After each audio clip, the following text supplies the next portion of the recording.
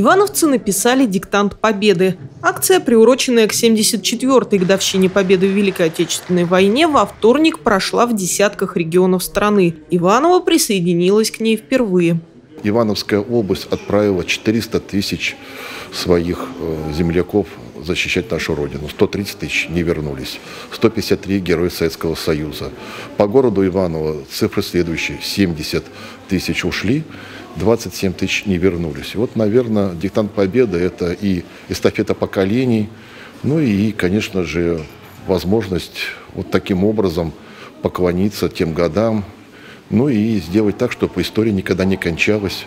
Диктант состоит из 20 вопросов с четырьмя вариантами ответа. У участников есть всего 40 минут на то, чтобы ответить. Дальше бланки проверят при помощи компьютера. Результаты будут известны через месяц. Цель диктанта не столько проверить знания ивановцев, сколько помочь им сохранить эту бесценную память. Этой возможностью воспользовались порядка 100 человек. Каждый готовился к диктанту по-своему.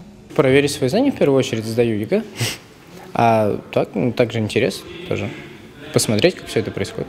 Источников вполне достаточно. Ну, 21 век, интернет, там средств множество. К тому же сейчас, я думаю, у каждого в семье еще до сих пор живы люди, которые застали этот период, которые могут по своим рассказам, там, по рассказам своих же родственников, ближних. То есть это, это достаточно дальний период, но при этом все равно информации достаточно много, она в открытом доступе для всех, в принципе. Если человеку интересно, то он может ее найти в достаточно большом объеме.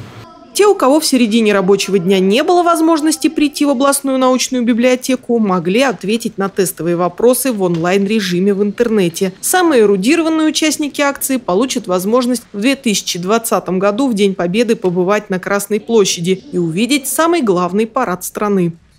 Наталья Гутарина, Антон Осипов, РТВ Иванова.